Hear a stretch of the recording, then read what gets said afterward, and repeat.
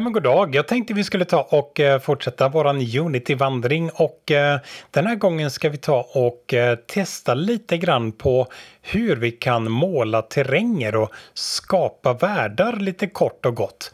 Jag hoppar in i min Unity Hub och gör ett nytt projekt som jag väljer att kalla för 1.4 Lilla skogen. Jag placerar på desktopen i vanlig ordning och ser till att det är ett 3D-projekt som är markerat och trycker på Create Project. Och Unity är igång! Jag ska göra en liten skog här tänkte jag, eller en öppen miljö i alla fall. Så hur gör vi det? Vi tar och eh, börjar med att eh, jag tycker att min scen, den kan vi döpa om till eh, skogen exempelvis. På samma sätt som jag kan eh, döpa om allt annat så kan jag döpa om naturligtvis även scenen. Jag vill göra mig en ny terräng här. Jag trycker i min hierarchy. Nej förresten, jag tycker layouten ser helt konstig ut. Som tur är har jag en sparad layout som heter Krille. Nu kan jag i min hierarchy säga att jag vill göra mig en eh, 3D-objekt som är en eh, terrain. Terrainen landade här och eh, jag vill titta på terrängen rakt uppifrån så trycker jag på min gizmo som gör att jag tittar rakt uppifrån.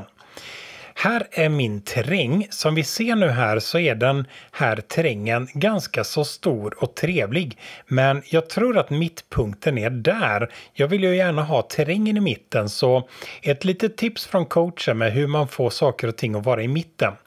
Jag brukar lägga till en 3D-kub och se att 3D-kuben landar precis där. Jag trycker på F för att zooma in på min 3D-kub.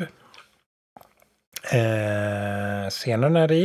Jag trycker på F för att zooma in och se mycket riktigt att där är mittpunkten på scenen. För att få min, eh, min plan att vara i mitten så markerar jag terrängen och eh, kan nu dra terrängen så att den är ungefär i mitten. Så nu är den ungefär i mitten. Om vi då tittar på siffrorna här borta så ser jag att eh, positionen för terrängen är minus 497 och minus 499. För att flytta den exakt så är det troligtvis minus 500 och minus 500 som jag vill ha. Nu är min terräng precis i mitten så jag kan markera min gamla kub och helt sonika ta bort kuben. Nu har jag en terräng här. Jag kan antagligen få terrängen att se ut lite grann hur jag vill. Först och främst så vill jag döpa om den här terrain. För min terräng är ju den här lilla skogen så vi kallar den väl för lilla skogen. När jag håller på och grejer med terrängen så finns det i vanligt under inspektorn några saker som kan vara intressanta. De knapparna finns under terräng här. Här har jag de terrängverktygen att tillgå. Jag kan skapa närliggande terränger, det vill säga jag kan skapa en terräng och ha andra terränger runt omkring. Jag har en eh, val där jag kan måla terränger. Jag kan måla träd. Jag kan måla detaljer och jag kan ändra lite settings för min terräng. Om vi börjar med att trycka på Paint Terrain så får jag upp lite olika verktyg här. Här får jag upp en brush, en pensel helt enkelt jag kan måla med. Här har vi en annan typ av pensel, en tredje typ. Jag kan dessutom ändra de olika typerna av penslarna till vad jag vill ha.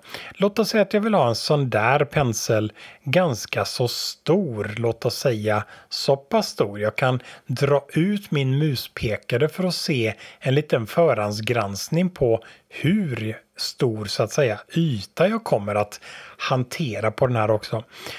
Jag kan ändra på opaciteten på den här. Opaciteten säger hur mycket tryck som min pensel kommer att ge.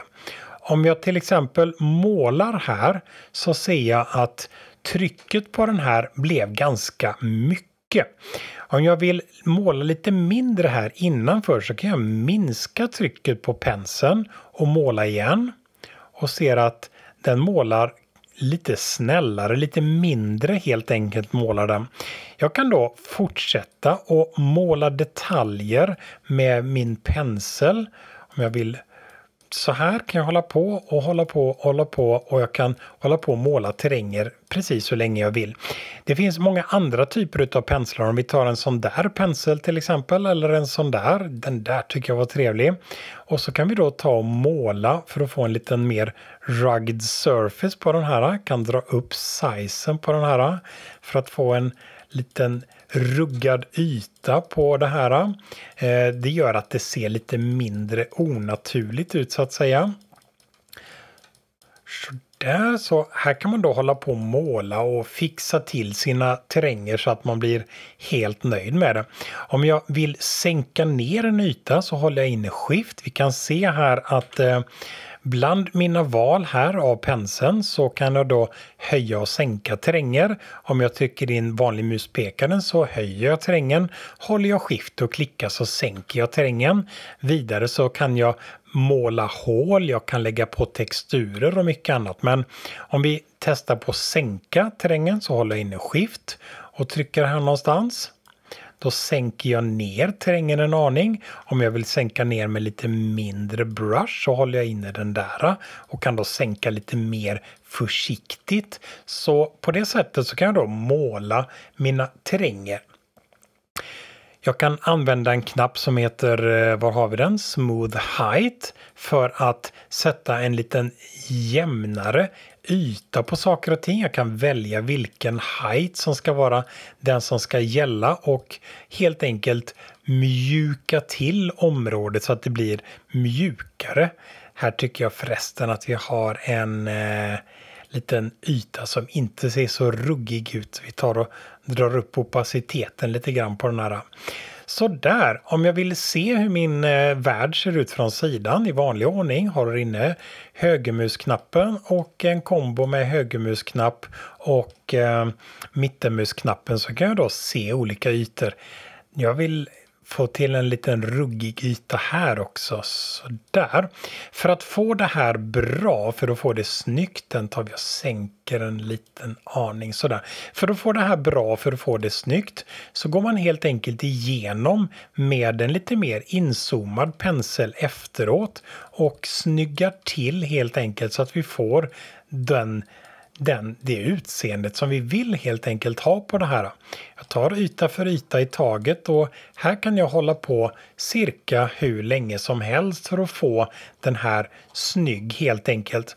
Om jag vill titta på hur det här ser ut på ett lite mer verkligt maner så går under Asset och Import Custom Package och eh, lägger till den här under mina Unity Assets så finns min First Person Character. Vi tar och eh, öppnar och importerar allt i First Person Character.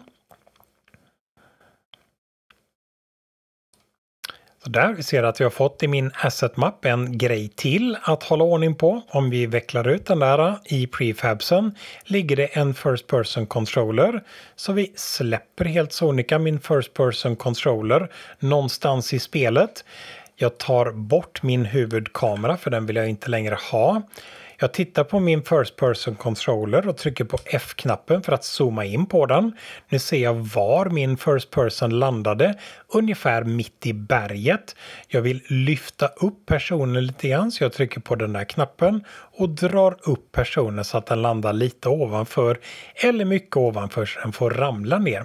Så vi kan väl se vad vi har eh, skapat än så länge.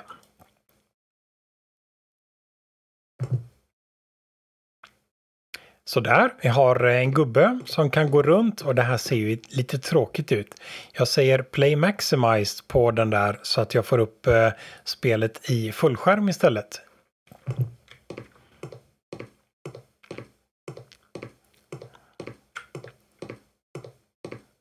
Inte speciellt roligt om jag får säga det själv. Till att börja med så vill jag nog ändra hastigheten min character springer på. Så om jag ändrar walkspeeden till 9 så bör det göra lite skillnad i alla fall. Så jag sätter walkspeed till 9 och eh, jag hör på fotstegen att den rör sig i alla fall lite snabbare. Jag kan titta runt och se hur min värld ser ut. Jag kan hoppa runt och så vidare. Det var ett snabbare sätt att ta sig framåt här. Där någonstans var där jag spånade. Så på det sättet ska jag få spelet att bli i alla fall lite trevligare. Så jag kan ta en textur och dra in och helt sonika dra in en first person efteråt och jag kan måla min textur för att få texturen på det sättet jag vill ha den. Jag tycker nog att den här världen hade blivit lite trevligare av en liten textur på sig så vi tar väl och går in under Asset Import Custom Package och väljer eh, till exempel Grass and Surface-paketet som innehåller just lite olika gräs och lite olika texturer här och var. Så vi tar väl och öppnar det här paketet och installerar allt som finns i paketet. Så där, nu har vi installerat eh, Grass and Surface. Vi kan se vad som finns i det här paketet. Eh, om vi tittar i eh, vad som finns nere i eh, våran eh, Asset Map så finns det nu en Grass and Surface Map innehållande gräs och några olika surfaces.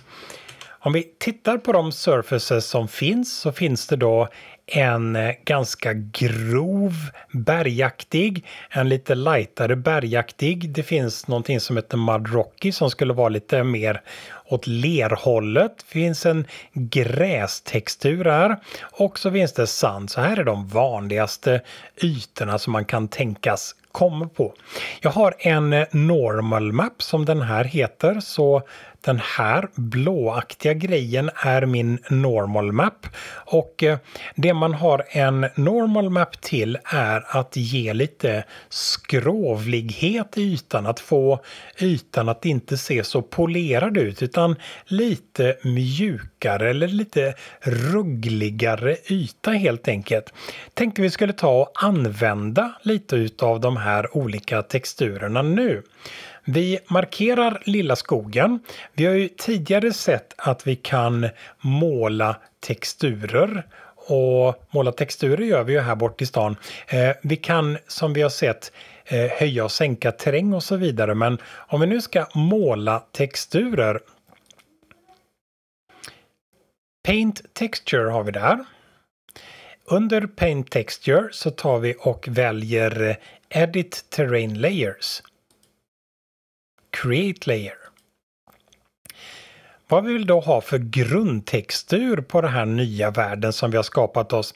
Ja, låt oss säga att vi tar en sån där Sandrock, Sand Rock, den som vi har där. Så det här får bli min grundtextur. Den där vill jag måla överallt så att säga. Så vi väljer den där och eh, tittar på världen. Nu ser vi att hela världen har fått den här grundtexturen. Om vi tar play-knappen på det där så ser vi att nu världen ser lite annorlunda ut. Den ser lite trevligare ut och eh, allt beror sig på att vi har lagt en textur på det här.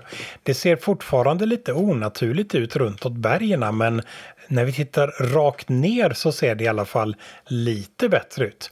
Det finns många fler saker vi kan göra med texturer än så där. Om vi exempelvis markerar vår eh, terräng Lilla skogen så där så hade vi ju våran Paint Texture och här hade vi ju våran grundtextur. Vi kan skapa fler texturer än så här. Vi kan börja med att lägga på en normal map på det här. Nu lägger jag bara på en normal map som jag råkar ha framför mig. Och det som blev då skillnaden är om vi tittar lite noggrannare här är att vi fick en rugglig yta på den här. Vi kan då välja hur mycket tryck den här normalmappen ska ge och så vidare. Vidare så kan vi då ta och eh, lägga på flera lager och flera olika penslar på våran terräng. Vi kan måla terrängen helt enkelt. Om vi exempelvis säger Paint Details och eh, skapar oss eh, var har vi? Där, Edit Details. Vi kan då lägga till till exempel en detaljmesh eller en grästextur på det här för att lägga till olika saker. Låt oss säga att vi vill lägga till en grästextur så kan vi då lägga till det här och måla gräs helt enkelt. Om jag vill lägga till träd så kan jag göra det här Edit Tree sa i dagsläget har vi inga träd ilagda. Eh, under Paint Texture så kan jag då lägga till ännu fler olika texturer om jag skulle vilja det. Låt oss säga att vi tar och gör ett nytt lager med texturer innehållande till exempel den där texturen. Med den texturen vald så kan jag då Ja, jag kan måla helt enkelt. En, eh, till exempel, vi tar väl en pensel och eh, målar terrängen här. Vi får nog kanske zooma ut lite grann. Den här tycker jag nog ska framför allt vara här uppe bland bergstopparna. Att simmar jag i bild så jag kan måla bergstopparna med den här och eh, som vanligt så snurrar jag runt och målar och eh, precis som vanligt ju mer tid jag lägger på det här desto bättre resultat kommer det att bli. Vi kan ta och ändra storleken på min brush till en ganska så stor brush och så tar vi och zoomar ut kraftigt, tittar på den rakt uppifrån. Lite mycket pensel. Något sånt där. Och nu kan jag då måla texturerna lite mer sådär. Vi kan lägga på ytterligare ett lager. Vi lägger på ett nytt lager och i det här nya lagret så vill vi ha till exempel sanden. Så markerar vi sanden. Nu är det sanden vi målar med. Låt oss säga att jag vill ha lite sanddyner här och var. Eh, får kanske dra ner opaciteten en aning så vi inte målar så himla skarpt med sand. Jag kan gå vidare, lägga på ett nytt lager och i det nya lagret så vill vi ha grönt gräs och markera grönt gräs och nu kan vi då måla. Jag tycker vi ska ha en ganska låg opacitet när vi målar gräsytor så kan vi då hålla på och måla våran terräng och få våran terräng att se ut ungefär som vi hade tänkt oss. Den här eh, normal mappen den tycker jag nog att vi kan lägga på alla våra texturer. Vi ska egentligen för att få det här riktigt bra så ska vi ju göra en normal map som är specifik för varje bild som vi lägger på. Men på det där sättet så kan vi då, ja, det blev väl inte sämre i alla fall. Ju mer tid vi lägger på det här desto bättre blir det naturligtvis. Lite träd är inte skadat heller. Vi går in under Asset och och import Custom Package och väljer vårat träd. Öppnar det där paketet. Här i det paketet så finns lite olika träd. Vi väljer att importera alltihopa. Så nu importerar vi alla träd. Här har vi fått en mapp som heter Speed Tree med de olika träden som vi har att tillgå här. De heter Broadleaf, Conifier och Palm. Vi kan väl titta på hur de här olika träden ser ut men om vi ska ta och placera lite träd så finns det en speciell knapp för det där. Eh, Paint Trees heter knappen, det är den knappen i mitten. Under Paint Trees så lägger du allting som har med träd att göra. Vi har inga träd till att börja med så vi får editera våra träd och lägga till ett träd. Vi behöver nu assigna vilket träd vi ska använda oss av. Låt oss säga att vi tar eh, till exempel en palm. Vi börjar med en palm. Så till exempel markerar vi palm och eh, vilken palm ska vi ta? Dun, dun, dun, Här finns de olika komponenterna. Vi tar Palm Desktop och drar in och släpper, släpper den som prefab. Nu är den här den som är våran Palm. Så vi kan väl ta och lägga till lite andra träd. Där får vi en liten bild över hur en palm ser ut. Vi kan väl lägga till eh, ett par träd till. Vi lägger till våran Conifier. Vi tar desktop-versionen som vanligt. Lägger till den och så tar vi och eh, lägger till det tredje trädet som vi hade här också, vårat broadleaf-träd. Så där, nu har vi tre stycken träd här. Om jag vill måla träd så med ett visst träd markerat väljer jag precis som vanligt vilken storlek jag vill ha på min brush, vilken storlek jag vill ha på min densitet och jag kan välja hur höga träden ska vara eller hålla inne random-knappen för att ge en random-höjd på träden. Jag kan nu måla lite träd. Vi drar upp våran brush en aning och så trycker vi sådär. Jag har nu fått en liten skog av träd här nere. Trevligt, trevligt. Det finns också en knapp som heter Mass Place Trees. Den är trevlig. Jag väljer hur många träd jag vill ha. Låt oss säga att jag vill plantera tusen träd.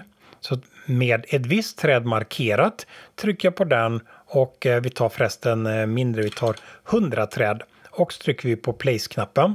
Det som händer då är att den slumpar träd och placerar träd på slumpade platser. Om jag vill slumpa fram lite palmer, eh, låt oss säga fler palmer, 400 palmer, så stoppa in 400 och eh, trycker på generate och eh, allting är färdigt. Om jag nu undrar hur mitt spel ser ut trycker på play-knappen och eh, plötsligt ser ju det här betydligt mer levande ut. Träd gör så mycket åt en trädgård. Som du ser här också så har trädroten lagt sig där marken är. Eh, om vi hoppar upp på en höjd och letar efter ett träd Kanske borde lagt in massvis med träd så att det blir lättare. Här har vi en dal istället. Som vi ser så börjar trädet nere i dalen. Så när vi placerar träd så tänker hela tiden den här apparaten på var någonstans träden placeras. Så att de placeras helt sonika i någorlunda rätt höjd. Jag tycker att det saknas någonting på det här. Vi skulle även kunna dra in lite gräs och måla gräs för att få en annan yta på det här också. Eh, jag tycker att det har blivit dags att dra in ett kanontorn, ja. Jag har inte gjort något kanontorn så det lånar vi ifrån Asset Store. Så under Window går jag in under Asset Store. I Asset Store finns ju som bekant alla tänkbara saker som vi kan tänkas vilja pynta våra spel med. I Asset Store så söker jag på Sci-Fi och klickar i rutan Free Assets. Jag får upp en massvis med olika assets som är gratis och har med sci-fi att göra. Här finns eh, sci-fi base exempelvis. Jag trycker på den där.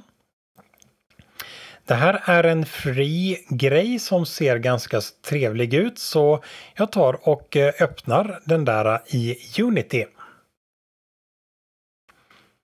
Jag får upp eh, i Unity min eh, Package Manager och eh, den kan vi titta lite mer på också. Här finns i alla fall Sci-Fi Base Default Defense Tower Free Pack nummer 3. Den där vill jag gärna ha så jag trycker på Download på den där asseten. Den laddas ner och jag trycker på Import-knappen för att lägga till den i mitt projekt. Här har vi allting som projektet innehåller så jag trycker på import-knappen på det där. Du, du, du, nu kan jag stänga Package Management och eh, under har vi Speed Trees och Grass and Surface och First Pack. Där har vi Sci-Fi Tower Rocket Launcher. Jag tar helt enkelt den prefaben och drar in och släpper någonstans i min scen. Eh, var är vi någonstans? Jag trycker på FPS-kontrollen och F-knappen. Där är jag. Vinklar upp mig själv lite grann och där har vi min nyimporterade asset. Vi kan väl titta på hur den här asseten ser ut. Eller förresten, vi kopierar in ett par till. Med min Rocket Launcher markerad vill jag duplicera det här elementet. Jag högerklickar på det och ser att det finns en knapp som heter just Duplicate. Jag kan då trycka på Ctrl D och eh, Ctrl D kommer att göra som så att den helt enkelt duplicerar ett objekt igen. Jag markerar min eh, ton och eh, tar och flyttar de andra tonen så att de landar på lite bättre ställen. Så där och så där och lite hitåt och lite neråt. För att den här ska hamna helt rätt så bör jag kanske välja någon liten plattare yta att sätta den på.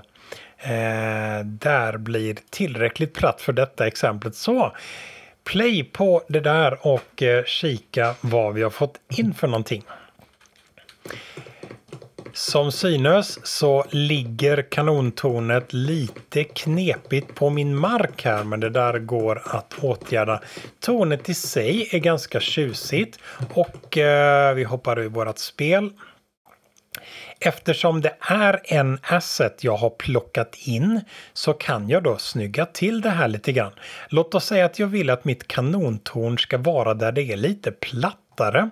Jag kan då helt enkelt ta och eh, markera min lilla skogen, trycka på knappen som har med eh, terränger att göra, välja smooth terrain eller set height och då kan jag då välja en viss höjd som jag vill ha om jag vill göra det här riktigt platt. Jag får nog ta en lite mindre pensel för att få det där bra.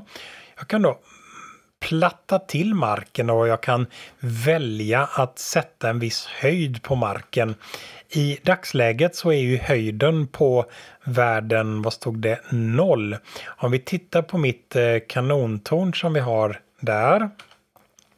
Så mitt kanontorn nummer den där, den är då på en höjd som är lite annorlunda. Så jag kan då ta och markera till exempel vilken höjd jag vill ha det på och bestämma att det är precis den där höjden jag vill ha.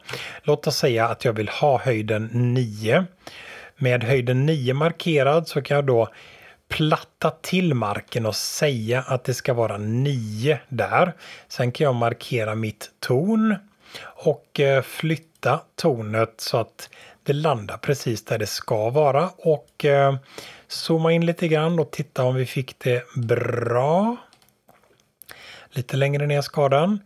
Det här är återigen en sån här grej som tar bara tid att göra. Men nu tror jag att jag har fått in det där kanontornet skapligt naturligt i alla fall.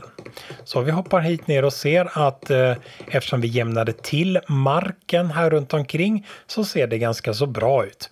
Vi kan ta och eh, eftersom det är en 3D-asset, vi kan markera våran 3D-asset. Den har vi ju där.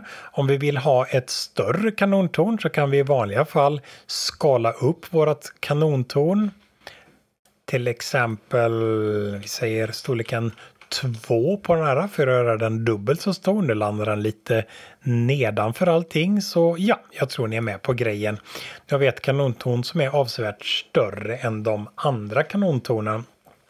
Om jag tycker att ljussättningen i den här är lite konstig så ljussättningen den verkar inte riktigt falla på riktigt det sättet som jag hade tänkt mig. Vi kan ju naturligtvis ändra det. Om vi markerar ljuset där borta så får vi upp information om ljuset här. Vilken färg har ljuset? Ja, låt oss säga att jag vill ha lite mörkare färg för nu börjar det bli lite mer solnedgångigt. Om jag vill så kan jag ha en helt annan färg på ljuset också. Nu blir det nästan mörker. Men om jag vill ha till exempel en sån där färg på ljuset istället. Så kan jag då ändra den färgen om jag vill att det ska lysa lite svagare. Så kan jag dra ner intensiteten på ljuset en aning. Något sånt där ungefär. Vad det gäller ljuset så finns det massvis med olika saker man kan sätta på ljuset. Hur vill jag till exempel att ljuset ska kasta skuggor och så vidare. Om vi ändrar bara lite grann på ljuset för att få det lite, lite bättre. Trycker på play-knappen och ser eh, hur har vi det nu? Ja, nu ser ljuset faktiskt mycket mer naturligt ut för att vara lite mer kvälligt. Och eh, vi ser här att det här kanontornet är avsevärt större än de andra tornen också. Inte bara för att vi står nära utan för att vi har helt enkelt skalat upp den där. Så det var ungefär det jag hade tänkt att visa än så länge. Så med ganska så små medel och eh, ganska så liten tid så kan vi då eh, göra en liten värld som vi kan spela i.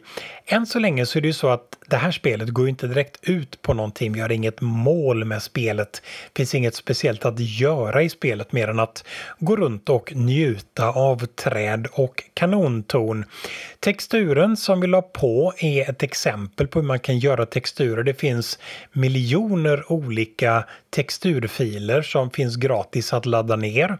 Eh, det här var ett sätt att göra terränger på. Det finns eh, andra sätt som vi kommer till vad det lider. Men eh, jag ville visa i alla fall lite grann om olika pinaler som man kan göra i Unity och det tycker jag vi har gjort. Hej!